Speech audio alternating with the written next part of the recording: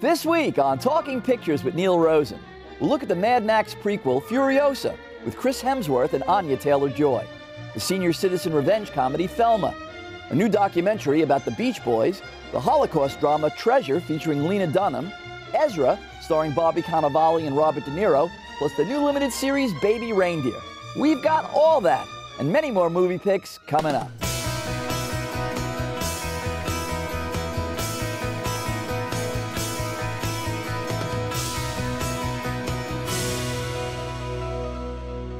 I'm Neil Rosen. Welcome to Talking Pictures. It's our monthly Critic Roundtable show. We debate what's worth watching and what's not when it comes to new releases, hidden gems, and Hollywood classics.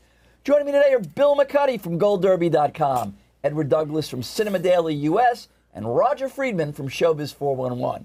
Now let's start out with a look at several new films or series in theaters and or streaming, beginning with Thelma, starring June Squibb. Let's take a look at a clip. What happened? It, it's my grandson. Grandma! Oh, it's them. Come on, get out. Thelma! Grandma! Hey, have you seen a woman with like white hair, a real lady?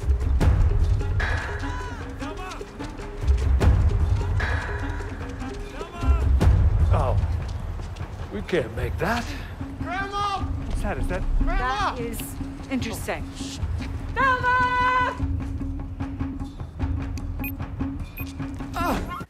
Bill, talk about Thelma.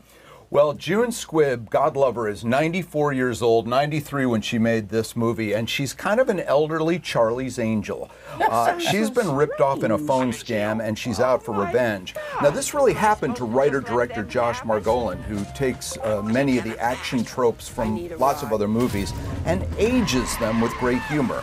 Supporting work from Fred Hechinger and Parker Posey are all first rate. But I want to mention the last performance of the great Richard Roundtree, yes, Shaft, as Squibb's uh, buddy pick That. Shaft is a mean. but- He's a, he's mean and he's older, but he's, he turns in a great performance. Uh, listen, when this film comes calling, don't hang up. Roger. Yes, I thought it was absolutely charming.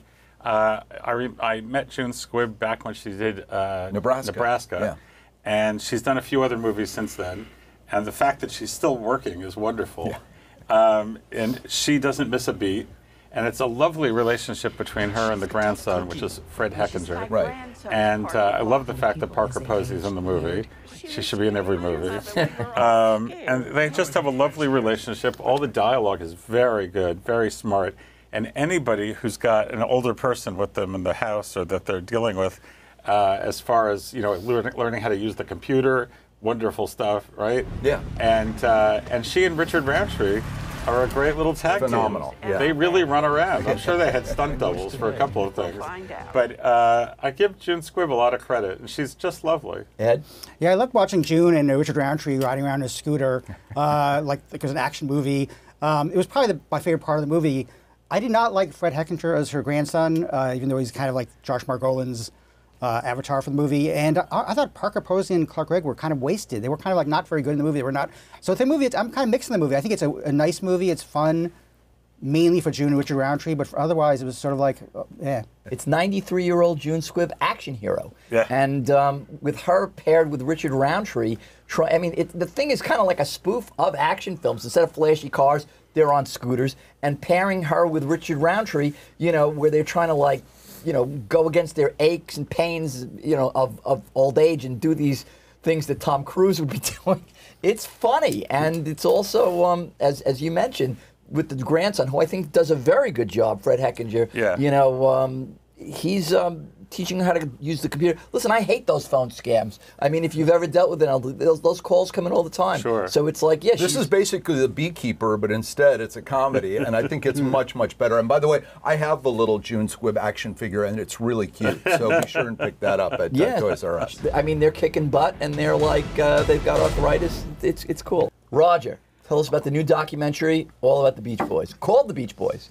It's called The Beach Boys, and uh, Frank Marshall, who produced almost all of Steven Spielberg's movies, uh, is the director.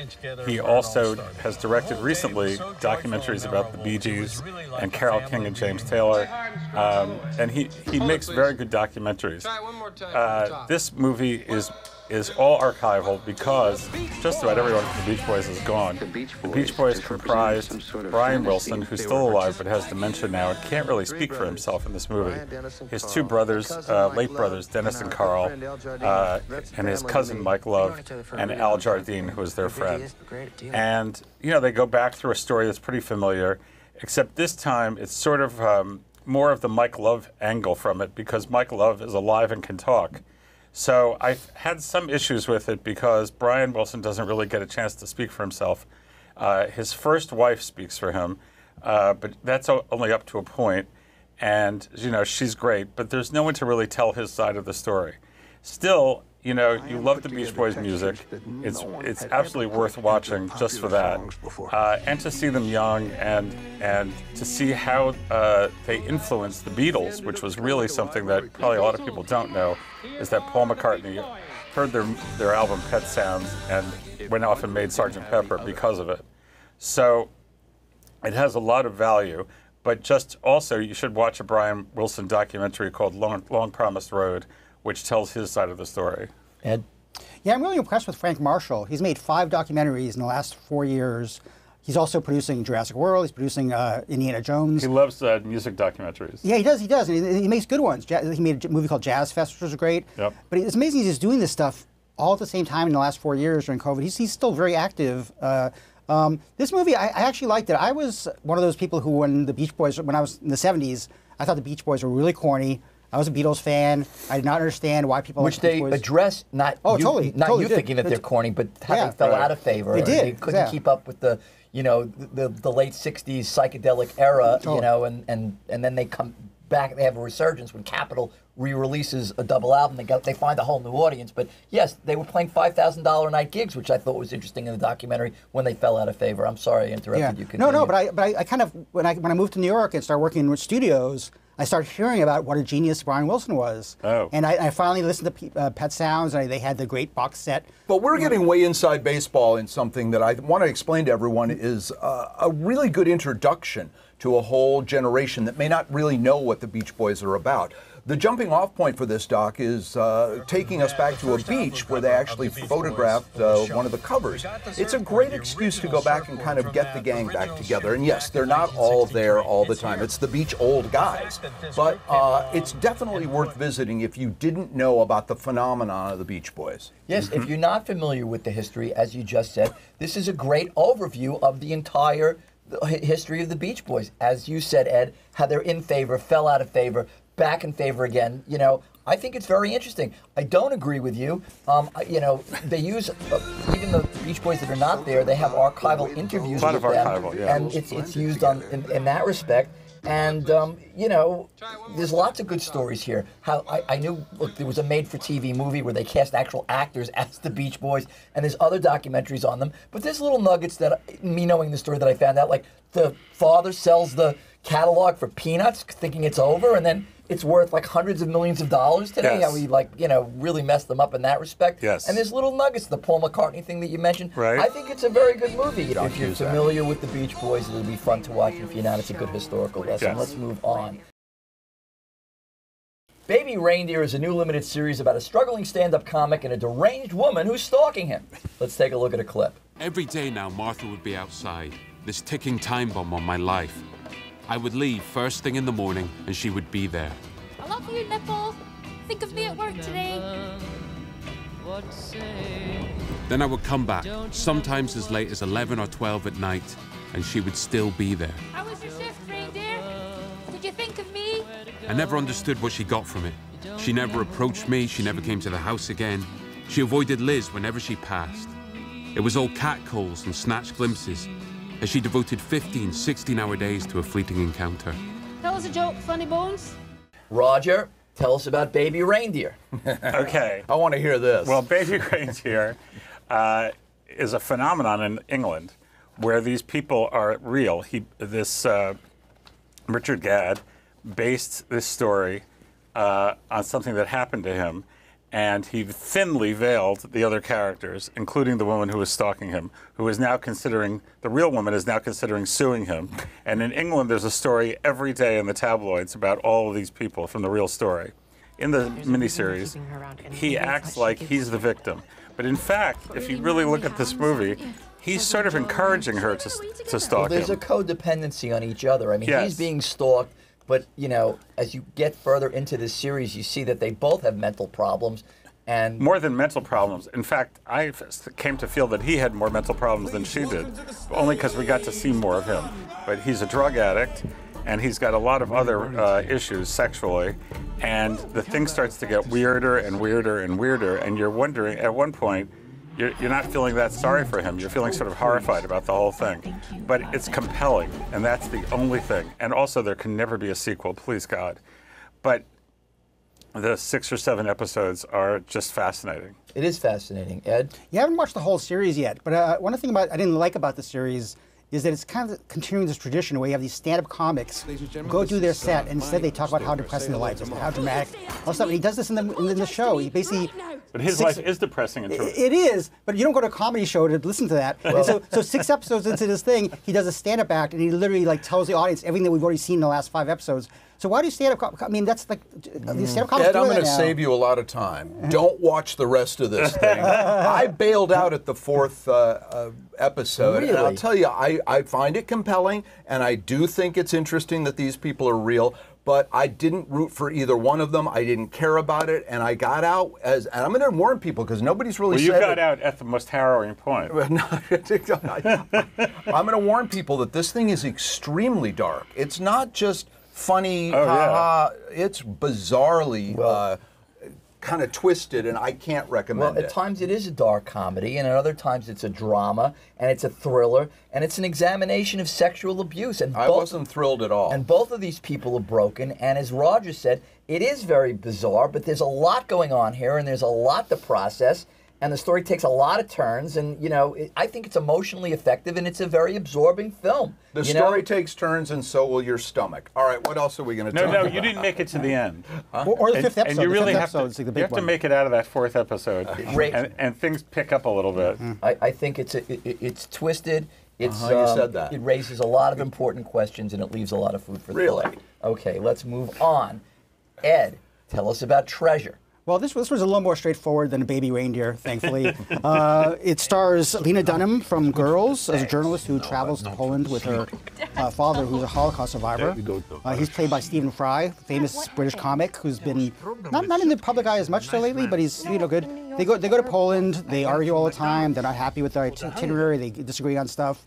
Um, but it's it's not a comedy. It's very much like a very kind of moving drama. Uh, I like. It's had me reaching for something called the remote. I, I liked and Seriously? love this film. What? Uh, because Are you kidding? The the, uh, the two leads are phenomenal, and you're right. We don't see enough of Stephen Fry.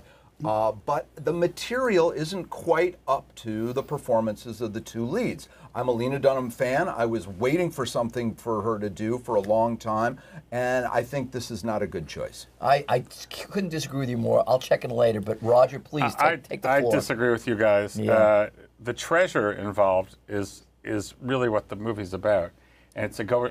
It's about going back to Poland for these people and finding a connection to their families that are lost from the Holocaust. And uh, I found it extremely moving. I thought the actors were terrific. I, I thought the story was just great. I, I really did. Um, it's the, the whole finding uh, of the things that uh, his family left behind in Poland when they had to run i- is a really great story. Listen, you know, the, I- I think both of you guys missed the point of this whole thing. I Oh, mean, really? Why don't you explain Well, it? I am. I mean, you know, he wants to bury his past, um, Stephen Fry's character, and he's just making jokes. In the beginning of the movie, he has a very light tone. Then it turns to become very emotionally moving, especially when they go to Auschwitz. But Lena Dunham wants to rediscover his past despite him, and they have a prickly relationship, and it's an evolution of their relationship along the way. But it's also, as Roger mentioned, when they go, when she goes back to this house that was their house, the, the father's house that was, you know, uh, taken away from them by by the Nazis, and there's another family living there, and she has to buy back the family heirlooms, and then, you know, finally. You can't bury. He's burying this for like decades and decades. Auschwitz, and you know, I, I don't want to spoil the movie, but something happens and it not only changes the relationship between the father and son, father and daughter. I think this is a must see, and I think it's a very. Fry gives a great performance. So does Dunham. I think it's a really great, really Actually, good I think film. it's- Lena Dunham was so terrific in this movie. All right, Bill. Let's talk about Ezra. Well, Ezra is the name of a young man with autism. His parents are played by real life couple Bobby Cannavale and Rose Byrne. Uh, they're div- a divorced couple sharing custody of the son, and Cannavale is a stand up comedian living in New York with his father, Robert De Niro. When Cannavale's agent, drum roll, here's another big name, Whoopi Goldberg, lets uh, her client in on the fact that he can be on the Jimmy Kimmel show in Los Angeles, Cannavale kidnaps his own son and they go on a cross country car trip running into Rainn Wilson, Vera Farmiga, and a horse. Um, the stand up is kind of lousy, but this film's heart is in the right place and deals with autism in, I felt, a very authentic way. Only a cold hearted, humorless, out of touch person would not like this film. Neil? Well, no, I mean, you have a great cast. You have a great director, Tony Goldwyn, who directed uh-huh. one of my all time favorite movies, A Walk on the Moon. The problem here is the screenplay. First of all, you see a lot of this guy. You were talking about stand up comedy earlier, Ed. You see mm-hmm. a lot of stand up comedy. He's got a shot on Kimmel. None of what he does is funny. You do stand up comedy on the side, Bill. You, more than anybody, should realize how Well, none of this what's guy's- he- portrayed in the film could ever be on Jimmy Kimmel. That's the other problem too. He's dropping the f bomb every now and then, and, and he's ad libbing with an audience. It wouldn't work at all. And the kidnapping of the kid and a trek across country seems far fetched. And he far fetched. And even if you buy into this unrealistic nature of this thing, the screenwriter is trying too hard here. And the scenes that are supposed to emotionally hook you in turn out to be sappy. no, I don't agree. Ed? Yeah, I agree about the stand-up comedy. It's the exact same thing as Baby Reindeer. You go see this guy do stand-up, and he's telling this story about his kid and how everything's bad in his life. And it's like, I want my money back. But the movie itself, I actually enjoyed it more than I thought I would. I think William Fitzgerald, who plays Ezra, is fantastic. And, Right. and to find this kid who has this comic timing, I don't know if he's ad-libbed at all, but he, he throws out these lines which just, just kills. And that's like, that's like, uh, for Tony Goldwyn, that's a pretty amazing uh, job right there. I really looked forward to it because of Tony Goldwyn, who does, who I think is a terrific director, and all the actors in it are wonderful. But you're right about the screenplay; it's overwrought, and it's in some cases it's overacted because it's overwrought. So uh, Bobby Cannavale, who's such a terrific actor, but he's pushed to do it becomes more is more and not more is less. Yeah. You know. The film doesn't set out what it achieves to do. No, ah, it but got I me did at the think, end. It's going to get you guys are. But all the actors are terrific, and I think uh, parents with autistic kids will will really relate to it. Yes, it's it's authentic in that way. At least It's very that. authentic.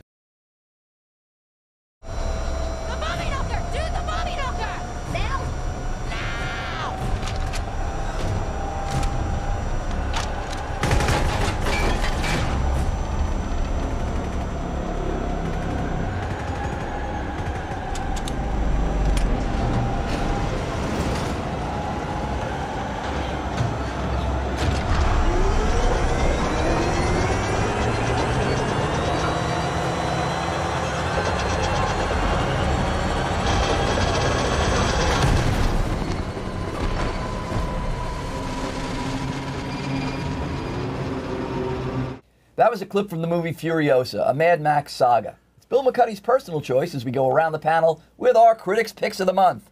Bill? Neil, I wore popcorn socks today because this is a popcorn movie. Furiosa, a Mad Max saga, is, according to director George Miller, the largest production ever undertaken in Australia, and it shows. The prequel stars Queen's Gambit's Anya Taylor Joy, who smears grease on her face and takes on a biker gang led by Chris Hemsworth. He's really good, by the way. The action is real, the cinematography incredible, and is this a great ride? Of course it is. The plot? Who cares? They're out of gas. They're still out of gas. They've been out of gas before, and they're always going to be out of gas in these movies. And they don't have E-ZPass, and there's no highway patrolman. Just go and have fun. This is what summer movies are all about. Yeah, I wish you had a reaction camera on me while he was talking because I literally disagree with everything he said. if you're gonna make a movie called Furiosa and Anya Taylor Joy is going to star in it, have she, she wasn't in the first hour of the movie. First of all, the first hour of the movie is just this little girl kind of standing there mute. Her mute. character was. I know, yeah, but I you're can't right. she barely did anything for the first hour, and it's like this. That's the part of the movie. Instead, you have Chris Hemsworth literally chewing up scenery. he uses a weird accent, even though he's Australian and could just use his own accent. He did decide to do some weird accent. I was really disappointed in this. I think it's a real letdown after Fury Road. I All I know wanna you say- hate Mad Max movies, so don't bring that bias to this. I am not a fan of the series. Thank you. Um, I don't like, as you said, Ma- I don't like Mad Max films, and I don't care about a prequel because I don't care about the characters Uh. from the previous movies. The only one that was tolerable for me was the first one with with, with, with Mel Gibson. You didn't I, like Thunderdome? I'm not a Mad Max fan. Lots of people Tina love this Turner. stuff. I Yeah. don't. Why are you a Tina Turner hater? What's love got to do with it? Roger, Oh, this is pick- exciting. What's your pick? Okay. Uh, we all love this movie. We so, all but- love this but, but movie. Go ahead. This is Richard Linklater's Hitman with Glen Powell, who is the it boy of 2024. And uh, he was just in Anyone But You, big rom com with Sydney Sweeney. He was in Top Gun Maverick before that. Uh, he was in tons of things before that, but no one was paying attention to him until Linklater made a movie called Everybody Wants Some, a baseball movie in 2018. And Glen Powell was like the fifth person on the list. They, they, everybody was promoting the, all the other guys, but I looked at this guy and I said, he's a movie star. And here he is playing a sort of a meek, By the way, mild-mannered guy name named Gary Johnson, and who gets enlisted to help the police go undercover, and he pretends to be a hitman, a guy who's killing people. And this is a little bit of a film noir. It's like Body Heat almost, because he gets entangled with a woman who comes to him and, and says, you know, uh, my husband's trying to kill me. But is he really trying to kill her, or is she trying to kill him? And the movie's very sexy. It's very hot. It's very fun. There's great dialogue, and uh, the woman in it. Do you have her name? Yes, her name is Adria Arjona. She is the most beautiful actress of 2024, and this will really She's like launch- an Ana de Armas. yeah, she will. This will launch her career. So uh, altogether, Hitman is just terrific. It's probably going to be Richard Linklater's biggest hit of all time. I really liked it. No, but the, uh, Glen Powell and Audrey Arjona have great chemistry. Um, but I did see the movie again, and I don't think it works as well the second time once you know the beats as they come along. It's a good, you know, crowd-pleasing movie. Has some very funny moments, very wonderful romance. But I don't know if it really works second time. So it's kind of that's, that's probably a problem with the movie if you can't watch. It's it second really a good showcase for Glen Powell, who gets to put on a lot of different outfits and pretend to be hitmen of all kinds of persuasions, and that's almost like a Peter Sellers role in It's that also way. like a Matthew Rhys in the but it has a shaggy dog uh, characteristic to it, where it takes a long time to get going. And once these two get together, yes, it's very interesting. Although she does something she should go to jail for, and kind of in this kind of a movie that doesn't happen. Uh, but I do recommend it. It's so much fun. There's so many twists and turns. Linklater seems to be having a, a ball here with this. Um, Glen Powell, this is a star turn performance for this guy. This has elevated his stock like tremendously. He's tremendous in this. And, you know, it's not just filled with laughs, it's also sexy and it's a thrill to boot. And you really didn't know where this was going at. And many times I'm going like, oh, wow, that's interesting. You know, it know, does have a lot of twists and turns. yeah, it's a, it, it- you know, check this one out. I, I highly recommend it. Might be my one of my picks of the week in, in, in terms of all the films we're doing here. It's a lot of fun. And Glen Powell uh, co-wrote it also. That's something which is getting Yes. forgotten a lot. Glen Oh, Powell yeah. co-wrote it with Richard Linklater. Yeah. Ed, what's your pick? Uh, my pick is uh, a movie called Robot Dreams. It's, it's a wonderful animated movie. It actually got an Oscar nomination for animation uh, in the last Oscars in March. Um, And it's it- being released now. It's, it's coming out. It's, it's, a, it's a really strange release pattern because it's coming out like in New York and then LA. It's going very slow. It's not like a big big release, but it's a, it's a wonderful, animated movie based on a graphic novel. Uh, it involves a dog who, who gets himself a robot companion, accidentally leaves the robot companion on the beach for months and months and months. But you watch this movie and it's just so so wonderful. Just it's about friendship. There's no no dialogue almost at all. It's just literally like a just music and visuals and it plays really well on the big screen, which I don't think a lot of people got to see it that way. And uh, I was actually kind of a little disappointed because because we're all in the Critics' Choice. We all got a box of Neon with that screener, and none of us watched it. I don't think anyone in the group watched it because it should have gotten a Critics' Choice nomination, and it didn't. Guilty. But it got yeah, but it got, but I didn't either. But it got an Oscar nomination, and it's that good, and it should have won. Well, I watched it because it was your pick, and I have to say it's amazing what you could do with animation and no dialogue and still pull so much on your heartstrings. And New York in the 80s is captured so wonderfully in this particular film. Like, I was here in the 80s, and it's not what it was now, and it's just funny. And plus, there's all these references to, to shots in other movies, like Manhattan, the bridge shot for you know, and in um, you know the Woody Allen movie is, is cat, and you keep looking at these. Oh, there's that movie. There's that movie. It's so it's it's so well. You're emotionally connected to these characters, and it's also a lot of laughs along the way. But it really gets you in the end. My pick is the Netflix limited eight-part series Ripley. Now, if you're familiar with the 1999 two-hour movie, The Talented Mr. Ripley, you might think, what more is there to say in eight hours? Well, the talented writer-director Steve Zaillian has taken Patricia Highsmith's popular book and made something much more gripping and engaging. It's filmed in glorious black and white by master cinematographer Robert Elswit, and practically every shot is a thing of beauty. But aside from being magnificent to look at, the story, direction, and performances just suck you in from the start, and the suspense never lets up. It's the story of a con man living in New York in the early 1960s who's hired by a wealthy businessman to go to Italy and try and convince his playboy son to come home. Along the way, there's murders, identity theft, and many con man schemes that are also a thing of beauty to behold. Making it all work is the captivating lead performance by Andrew Scott as Tom Ripley, who assumes the identity of the Playboy son he was sent to bring back home. Dakota Fanning co-stars, and there's so many hold your breath twists and turns along the way. This is a real winner in the vein of a Hitchcock movie, meaning a great Italian cinema type film. Check this one out. Anybody? Um, great performances, not just by Andrew Scott and Dakota Fanning, but Johnny Flynn as the main character, and Eliot Sumner, who is the child of Sting and Trudy Styler, making a, a film debut as Freddie Miles, the character that Philip Seymour Hoffman played in the original movie. And the, this piece of acting is just wonderful. Mrs. McCuddy said if this had been in color, it would have been half as long because the director fell in love with these beautiful black and white shots, and I agree. Well, that's about all the time we have. I want to thank Bill McCuddy and Edward Douglas and Roger Friedman, and I'm Neil Rosen. Join us next time on Talking Pictures.